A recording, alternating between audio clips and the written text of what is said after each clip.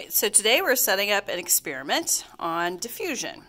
And this experiment is going to use cornstarch, which we placed here in a solution. So it's got a little bit of water and a little bit of cornstarch. And then we've also taken that cornstarch and put it into this tube. And this is actually a special kind of tube called a dialysis tube. And it's special because it's like a membrane, is permeable. So you have the starch in the tube, and then we have a beaker full of iodine. Now what's going to happen here, what's interesting, is that iodine is actually a indicator for starch. So I have some iodine here, and we're going to put it in the starch, and you can see what happens.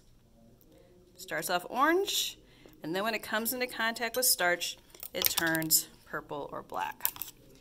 So here's what the experiment is going to entail. We're going to take the starch, which is inside the tube, and we're to put it in a beaker of iodine.